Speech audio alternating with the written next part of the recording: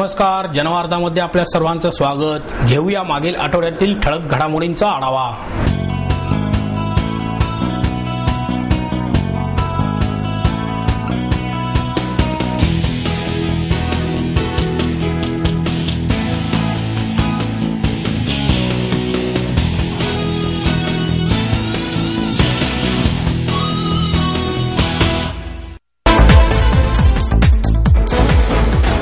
कोयना जलाशयातील लेक टॅपिंगचा दुसरा प्रयोग. बुधवारी अपेक्षेप्रमाणेच यशस्वी झाला. सकाळी अकरा वाजता मुख्यमंत्री पृथ्वीराज चव्हाण यांनी बटन दाबल्यावर उपस्थितांना भूकंप सदृश्य सौम्य धक्का जाणवला आणि आठ ते नऊ सेकंदात शिवसागर जलाशयातून पाण्याचा लोट हवेत झेपावला. हा ऐतिहासिक क्षण हजारोंनी याची देही याची डोळा अनुभवला. विजेची वाढती मागणी पूर्ण करण्यासाठी राज्य सरकारच्या ऊर्जा मंत्रालयाने दुसऱ्या लेक टॅपिंगचा निर्णय घेतला. कोयना प्रकल्प हा जलविद्युत निर्मितीसाठी बांधला आहे. एकशे पाच पॉईंट पंचवीस टीएमसी पाण्याची साठवण क्षमता असणाऱ्या या प्रकल्पातून टप्पा क्रमांक एक ते चार या पायथा वीज गृहातून एकोणीसशे साठ मेगावॅट वीज निर्मिती होते. पाणी साठा कमी झाल्यावरही वीज निर्मिती अखंड सुरू राहावी यासाठी दुसरे लेक टॅपिंग करण्यात आले. जलाशयाच्या खालून पन्नास मीटर खोलीवर नऊ पॉईंट पाच मीटर व्यासाचे भुयार खोदले आहे. याची लांबी साडेचार किलोमीटर असून पहिल्या भुयारापेक्षा याची उंची तेरा पॉईंट पाच मीटर खाली आहे. यामुळे अखंडपणे वीज निर्मिती सुरू राहणार आहे. अवघ्या शंभर दिवसात हे काम पूर्ण करणाऱ्या अधिकारी आणि कर्मचाऱ्यांचे मुख्यमंत्री आणि उपमुख्यमंत्री यांच्यासह सर्वच उपस्थितांनी कौतुक केले. कोयना धरणाच्या परिसरात एक दोन तीन अशी अंकमोजणी झाली. फायर असा आदेश होताच कमालीची शांतता पसरली. श्वास रोखले गेले. एकाच सेकंदात सोळाशे किलो स्फोटकांचा पाण्याखालीच उद्रेक होऊन धरणी किंचित हादरली. धरणाखाली भुयाराच्या तोंडाशी असलेल्या पाच मीटर उंचीच्या दगडाचा पाण्याखालीच भुगा झाला. पाणी उंच झेपावले. गडुळत त्याचा प्रचंड तरंग निर्माण झाला. शांत असलेल्या पाण्यात लाटा उठल्या. आशिया खंडातील दुसरा लेक टॅपिंगचा प्रयोग यशस्वी झाला. अत्यानंदाने टाळ्यांचा कडकडाट झाला. शिट्ट्या वाजवत भारत माता की जय अशा घोषणाही यावेळी देण्यात आल्या. पहिल्यांदा आपण बटन दाबल्यानंतर प्रत्यक्ष तो एक्सप्लोडर चार्ज व्हायसाठी काही सेकंद जातात. काही मिनिटच जातात. त्यानंतर आपण ते बटन दुसरं जे फायरचं आहे ते दाबून धरायला लागतं. ते दाबून झाल्यानंतर सुद्धा स्फोट होईपर्यंत दाबून धरायचं असतं. किती वेळ लागतो ह्याचा अंदाज आम्हाला नाही. त्यामुळे आज जेव्हा ते चार्जरचं बटन दाबल्यानंतर वेळ चालला आणि बटन दाबल्यानंतर लगेच काही स्फोट झाला नाही तेव्हा थोडी मनात शंका म्हणजे खरं याचं काहीच कारण नाही. पण येते कारण एवढ्यासाठी आम्ही एवढी वर्षे कष्ट केले. ते व्हायला तर पाहिजे.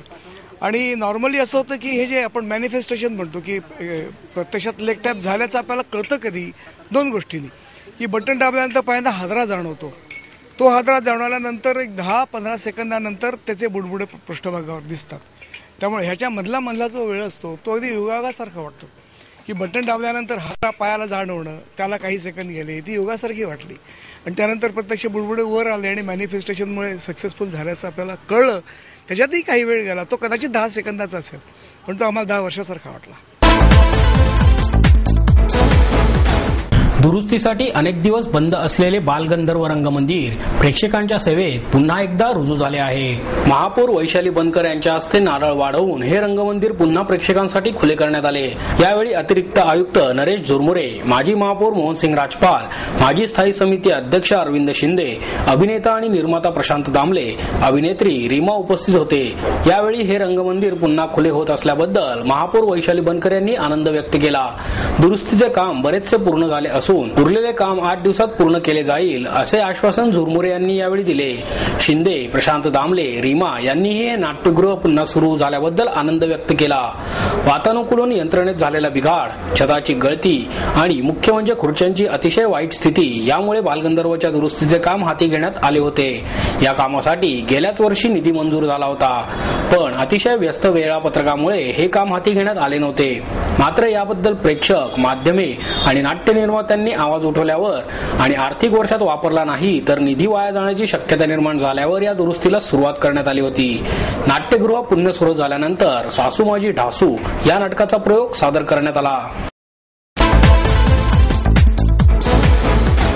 इंधनाची वाढती गरज आणि त्या प्रमाणात होत नसलेला पुरवठा लक्षात घेऊन पुण्यातील अग्नि अॅग्रो बायोमासच्या वतीने पर्यावरणपूरक कोळशाची निर्मिती करण्यात आली आहे. सामान्य माणसाला हा कोळसा अगदी परवडण्याच्या दरात उपलब्ध करून देण्याचा या कंपनीचे संचालक बाळासाहेब दिघे आणि विनायक गोडसे यांचा निर्धार आहे. या कोळशाचे सर्वात मोठे वैशिष्ट्य म्हणजे टाकाऊ बाबींतून याची निर्मिती करण्यात आली आहे.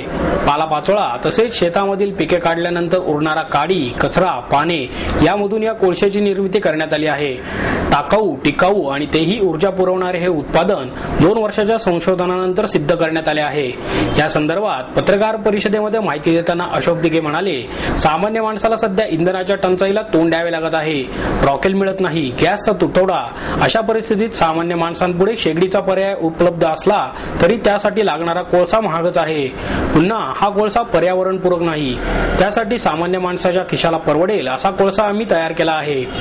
थोर गणेश भक्त कैलासवासी तात्यासाहेब गोडसे यांनी सामान्य माणसाला उपयोगी पडेल असे उत्पादन तू तयार कर असे मला सुचवले. त्यांचे पुत्र विनायक गोडसे यांची मला मदत होते. त्यांचे सहकार्य आणि माझ्या मुलाचा माझ्या कल्पनेला असलेला पाठिंबा यामुळे मी प्रॉडक्ट निवडले. मी चीनला गेलो असताना तेथे असा टाकाऊतून टिकाऊ इंधन तयार करण्याचा उपक्रम बघितला. हे तंत्रज्ञान भारतात आणण्याचा निश्चय करून ही सर्व मशिनरी आम्ही आयात केली. सुरुवातीला भारतीय गरजा आणि येथे उपलब्ध असलेला कच्चा माल आणि आम्हाला हवे असलेल्या दर्जाचा कोळसा बनवायला अडचणी येत होत्या. चिनी कंपनीशी सतत सल्लामसलत करून भारतीय वातावरणात चालणारे टिकणारे आणि सामान्यांना परवडेल असा कोळसा बनवण्यात आम्ही यशस्वी झालो. सध्या बाजारात उपलब्ध असणाऱ्या या प्रकारच्या कोळशाच्या गटात आमचा कोळसा इंधन म्हणून जास्त चांगले काम करतो. आवश्यक तेवढी हीट निर्माण करतो आणि अन्य कोळशांपेक्षा आमच्या कोळशाची किंमत आम्ही सामाजिक बांधिलकी म्हणून कमी ठेवली आहे. भविष्यातही कमीच ठेवण्याचा आमचा प्रयत्न राहील. आम्ही तयार केलेला कोळसा घरगुती वापरासाठी तसेच हॉटेल उद्योगांसाठी अत्यंत उपयुक्त आहे. ब्रिकवेटच्या आकारात उपलब्ध असणारा हा कोळसा वीस मिलीमीटरपासून पंच्याऐंशी मिलीमीटर पर्यंतच्या आकारात उपलब्ध असल्याचेही डिगे यांनी सांगितले. अॅग्रिकल्चरल वेस्ट मधून तयार होणाऱ्या या कोळशामुळे वृक्षतोड थांबून पर्यावरणाचे रक्षणच होणार आहे.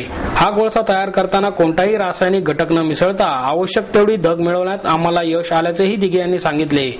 मध्यंतरी चीनहून आलेल्या उद्योजकांच्या शिष्टमंडळाने आमच्या कारखान्यास भेट देऊन आम्ही तयार केलेल्या कोळशाच्या दर्जाबाबत समाधान व्यक्त केले आहे. हा प्रकल्प पुण्यापासून तीस किलोमीटर अंतरावरील सांगवडे या खेड्यात यासाठी उभारला आला असून या कारखान्यामुळे ग्रामीण भागातील कष्टकरी महिलांना रोजगाराचे नवे साधन उपलब्ध झाले आहे.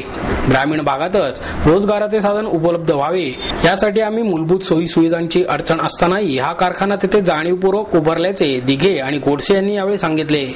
ग्राहकाला कमीत कमी खर्चात उपलब्ध होणाऱ्या या इंधनामुळे शहरातील कचऱ्याची समस्या सुटण्यासही मदत होणार आहे. सध्या आम्ही वीस टन कोळशाची निर्मिती करत आहोत. येत्या काही महिन्यात या युनिटमध्ये तीन शिफ्टमध्ये काम सुरू होईल आणि लवकरच एक दुसरे युनिटही सुरू होईल. ग्राहकांची मागणी पूर्ण करण्यासाठी आम्ही आवश्यक ते नियोजन केले असल्याचेही दिघे यांनी सांगितले. तो फ्रेंडली कोळसा निर्माण करण्याची आम्ही या ठिकाणी फॅक्टरी सुरू केलेली आहे. मुक्काम पोस्ट सांगवडे तालुका मावळ या ग्रामीण भागामध्ये आम्ही ती कंपनी चालू केलेली आहे. पालापाचोळा शेती गहू ज्वारी बाजरी तांदूळ याचं तूस वापरून आम्ही तो कोळसा निर्माण केलेला आहे. आणि तो सामान्य माणसांच्या उपयोगी पडेल कमीत कमी पैशात मिळेल आणि रॉकेल गॅस याला एक पर्याय असेल. साधारणतः रु- चार रुपयाच्या कोळशामध्ये चार माणसांचा स्वयंपाक हा पूर्ण होतो. विशेष म्हणजे त्या सात ते आठ प्रकारचे कोळसे आहेत ते. त्यामुळे हॉटेलसाठी सुद्धा तयार करण्यात आलेला एक वेगळा चारकोल म्हणून. हा पर्यावरणाला पूरक असा हा उद्योग आहे.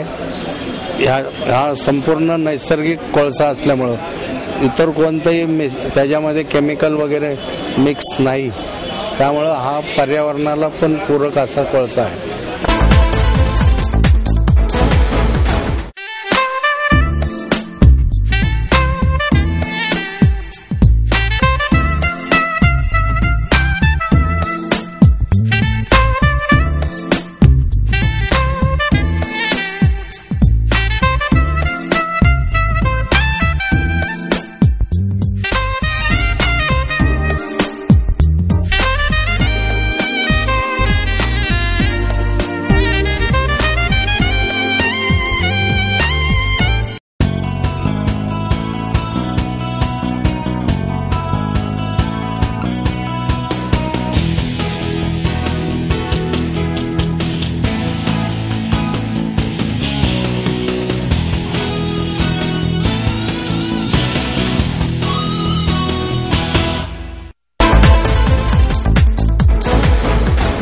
शाहू मोडक यांनी ग्लॅमर क्षेत्रात राहूनही माणुसकी जपली. म्हणूनच ते मोठे आहेत.